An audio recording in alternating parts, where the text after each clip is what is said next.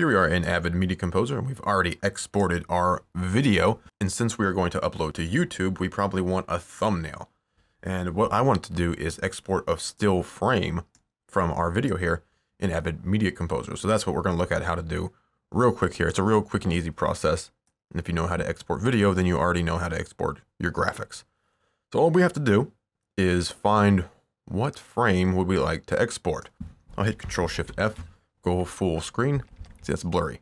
I want to go back a little bit here, just using the arrow keys to track back. And that's a nice clear shot right there. So I want to export this frame and just this frame here. Let's go back here. So what you do in Avid Media Composer is basically whatever you have selected whenever you go to export is what's going to be exported. So I just make sure I have that clip selected. My timeline is sitting right on top of that position. Make sure it's positioned exactly where I want it make sure that's selected. You don't always have to select your sequence. I just I just like to do that personally. And then I just make sure that's perfect. Again, just using the arrow keys. That's pretty much it. So then we come up here to File, Output, Export to File. And then you can always choose the destination of where you want that saved. V is fine for me. Then what we need to do is come down here to Options. And right here, this will usually be on, say, QuickTime Movie. Uh, whenever you export your videos, That's, this is what I usually use, and same as Source, and this is my settings here. But in order to export our graphic, we'll come up here to export as, use our drop down and choose graphic.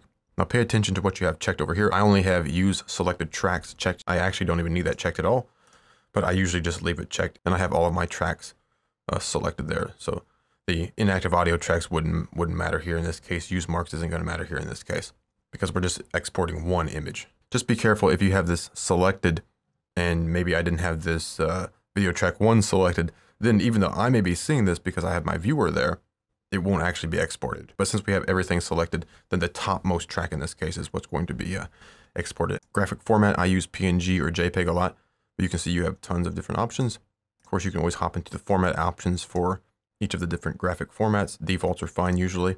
From there, you have your width and your height. This is actually 4K video, but I'm going to go ahead and export 1920 by 1080 because that's what I'm going to throw into Affinity title it, and then upload it to YouTube. I could, of course, export a 4K graphic and then squeeze it down to whatever I want. So keep that in mind as well. You may want to export a larger graphic and then you'll have a little more uh, leeway, a little more you can get away with uh, when zooming in and cropping and whatnot. All right, but for me, 1920 by 1080 will work. Then we have our color levels. I've already gone way into depth with this.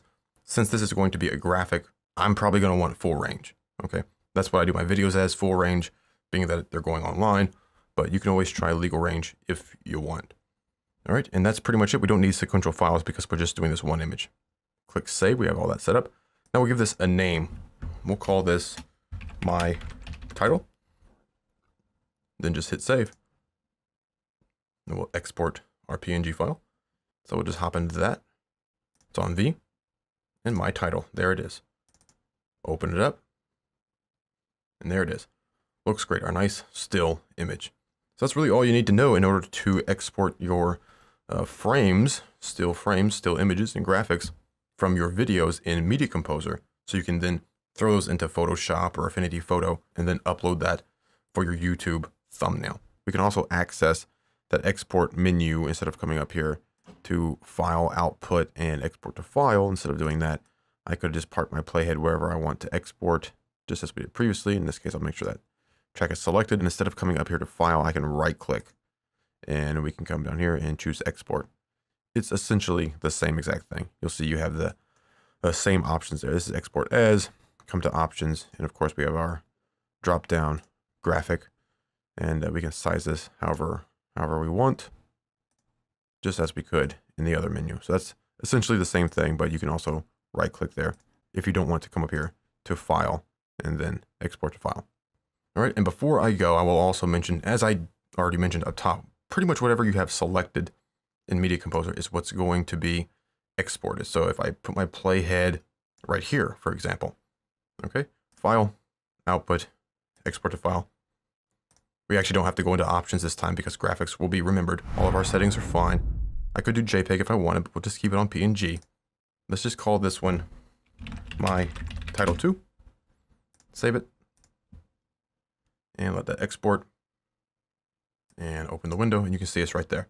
So whatever I had selected, wherever I had that playhead part, that's what exported. Now, what if the title you want to use, or what if the graphic you want to use isn't in your timeline? Do you actually have to cut it into your timeline after you export your video in order to get your graphic out?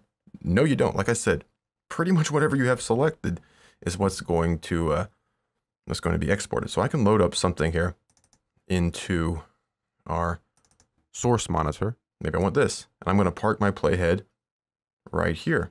So this is the last thing I touched in Media Composer. The last thing I touched is what's going to be exported.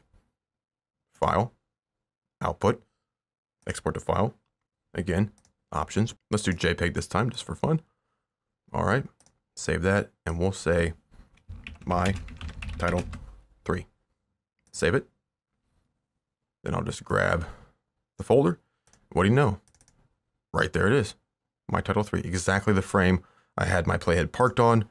The thing that we had last touched is exactly what was exported. All right, so that is how you would export a still image, a graphic from your video here in Avid Media Composer in order to make a thumbnail to upload to YouTube. Just park it, park your playhead wherever, uh, wherever you want. Always, of course, Control Shift F go into full screen so you can actually make sure you don't, you know, you're not landing on a place that has some motion blur or something. Make sure the last thing you touch is exactly what you want to export. Always use my arrow keys there just to adjust file, output, export to file, choose your destination, choose options, choose graphic, choose your graphic format, whatever you want. Choose your format options for that. Keep in mind whatever you have set here. Color levels, your width and your height. Save that. Give it a name. My title 4. Click save. And that's really all there is to it. And now you've exported your graphic and you can go ahead and throw that into Photoshop or Affinity Photo, put any titling on there that you want, and upload your thumbnail for your YouTube video.